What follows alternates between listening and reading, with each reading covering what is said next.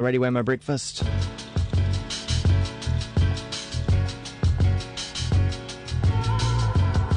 And what you're hearing in the background here is brand new stuff from the new album by Hollie Smith and Mara TK.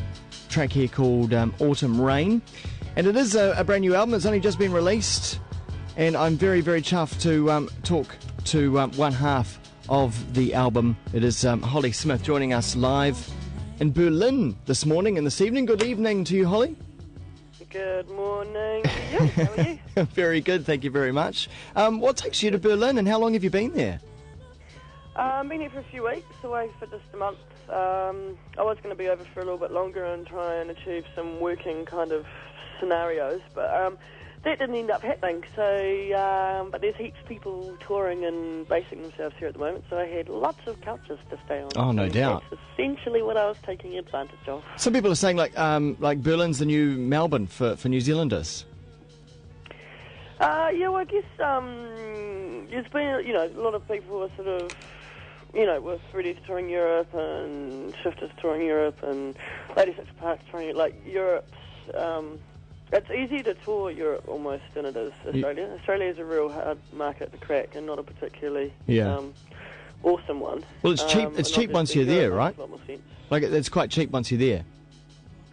Yeah, well, Berlin's cheap as. Like, I mean, if you're touring and stuff, it makes sense to kind of base yourself somewhere central, and you can train everywhere from here, and it's really cheap to live, and all that kind of stuff. So it makes heaps of sense, and obviously, you know, it's a nice, um, you know, it's a real cool little city, and lots of inspiration, and you know, cool people. So yeah, I think it makes sense. I'm just, you know, I'm just tagging along, basically. Yeah.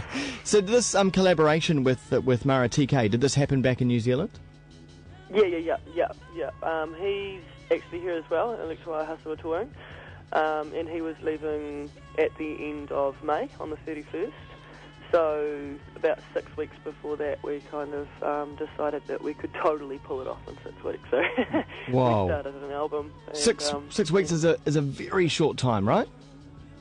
Yeah, long hours though again, like I mean, I sort of, I mean, I don't really think it. It doesn't feel rushed, and it's not. It wasn't rushed. I mean, we definitely put a lot of work into it, and I think if we had any longer, we probably would have achieved the same result.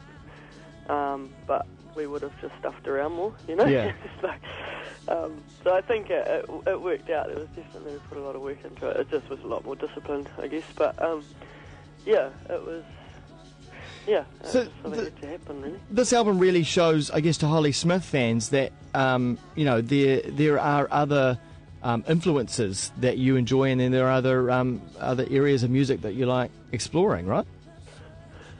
Yeah, I mean, I guess that's why I wanted to do this sort of band of brother things, um, brothers things, which essentially did not start with Mother in Mind, to be honest. This kind of happened by default, but um, essentially I, I mean, I started off doing collaborations. I mean, I, I did collaborations for years and years and years.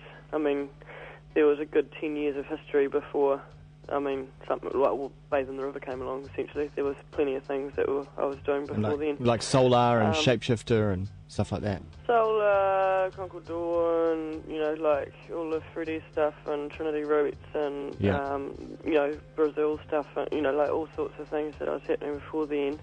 So I just wanted to kind of, like, you know, break away from that and establish my own stuff, which I feel like I've done. And um, again, this is just a bit of a vehicle to, and using the name Band of Brothers, um, and essentially, you know, will hopefully be an ongoing project just so I can experiment with different sounds and genres and co-writing and collaborations and and just not you know sort of freak people out or you know well confuse people that yeah. um, you know are sort of used to hearing me do what I've done for the previous couple of albums. Yeah, is, is it nice um, on the back of um, your recent solo album, you know, which was quite intensely personal and, and, and very much mm. you know um, all, all about you that that now sort of that weight is lifted off with an album like this, so you can share the weight, as it were.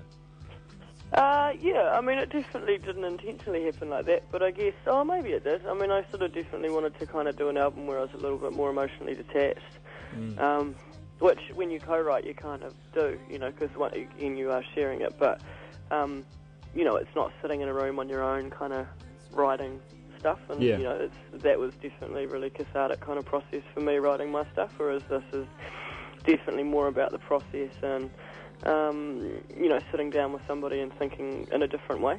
and with a different discipline, especially with, well, with the time constraints, but also just a different discipline, and um, having to create lyrics for a song that day by that time. You know, like that's um, and it, you know, it was a really good way of getting better at a craft. Cause, Yeah. You know, writing is definitely what I find hardest lyric wise. So, And- um, And, and, yeah, and me and Mudder both got noticed that we got a lot better by the end of it. That it was actually like a skill that we were getting better at, which was good. Huh. And, and so, I, I mean, I gather you'd come in with the vocals, and Mara TK would be providing, um, you know, the beats. Yeah, well, essentially, um, I'm using that word a lot.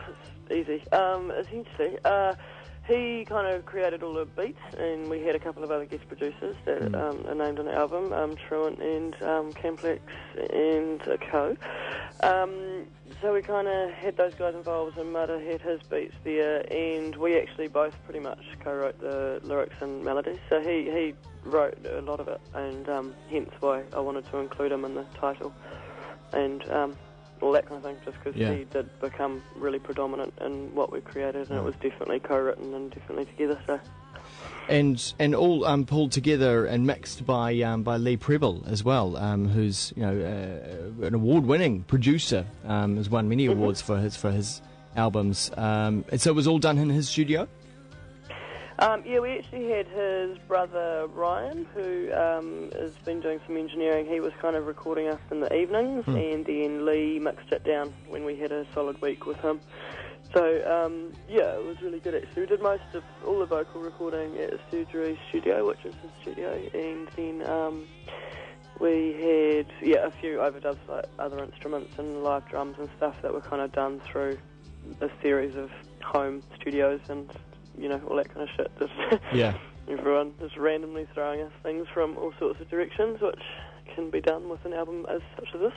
So, seeing as um, you know, a few of the members are over there in Europe at the moment, will, will you get to play some of this album out and tour it around?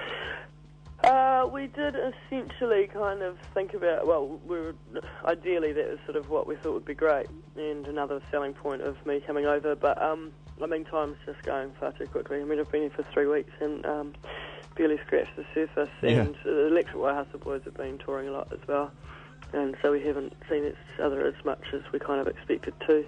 And I got over a little bit later than I thought as well. And and, so, um, and no hurry to come home. um, kind of. It's- it's Not- too cold, man. It's, It's cold. Really kind of just my boyfriend, and like Yeah. it's kind of um, the first time I've kind of been on the road. Well, not even on the road, been uh, travelling without my band and without like a group of people. So Yeah. it's been. I mean, although I know half of New Zealand's here, but yeah. um, it's quite a different experience. Kind of not touring in a in a in a pack. Yeah, yeah. Well, it sounds like it sounds like um, you're having fun over there anyway, and, and, and definitely enjoying it. And we're certainly enjoying the album back here in New Zealand. Um, Br- of Brothers Volume One, we look forward to many more volumes to come as well. yeah. Uh, Hollie Smith and Mara TK. Thanks, Hollie, for joining us from Berlin. Cheers. All good, bro. I'm going to uh, play something from the album now. Um, how about track number five? I don't think I've heard this one. Um, this is The Spirit Racing the Mind here on the Kiwi.